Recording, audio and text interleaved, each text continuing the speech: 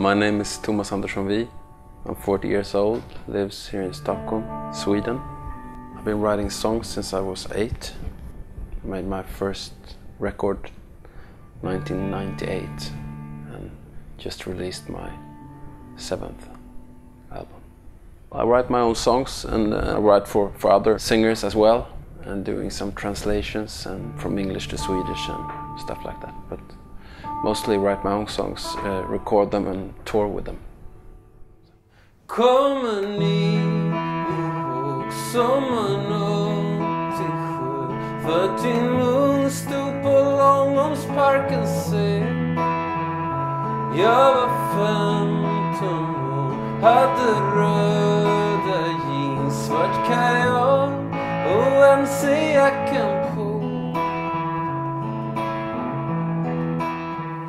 I don't really know what, what inspires me.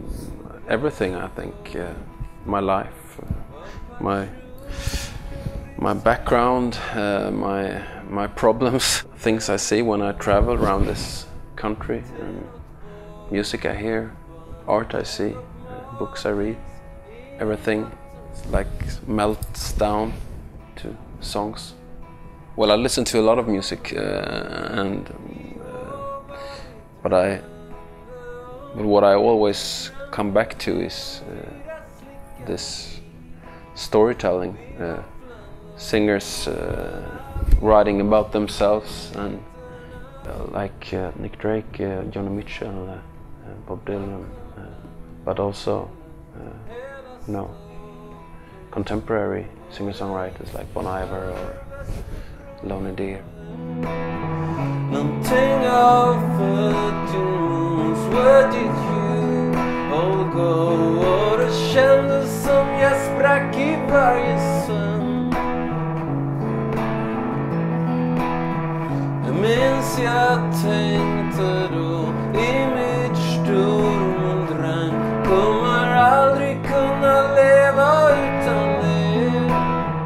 was eight when I started to sing, and I, my my first song was in Swedish. So I think it would be silly uh, to, to to to sing about my country and about my life here in in a, in a different language. so so Sw- Swedish came very naturally for me, and I think it's a beautiful language and, uh, and yeah. I never doubted that. Uh, it was not even a choice. I just started to, to, to, write in Swedish and I never stopped.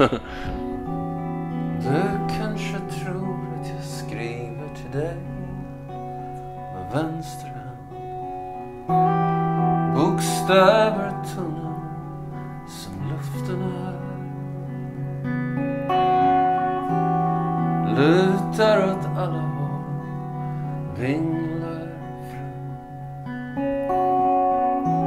I den blåsten think the, Swedish music scene just uh, getting better and, and it's uh, it contains a lot and a lot of my inspiration comes from other Swedish artists. You know, I think we have one we have like maybe the best drummers in the world. yeah. Uh, we are very good at rhythm. Yeah, it's fun to, to, to live here and to to see this happen right now. I grew up here in, in the southern suburbs of Stockholm, and um, my mother and father uh, came from, from the north of Sweden, so I also have a strong uh, relationship to, to, to that, the countrysides of Sweden. You can hear that in my songs. I sing a lot about the northern parts of Sweden and also about uh, the suburbs that I was raised in and that kind of architecture and, and feel.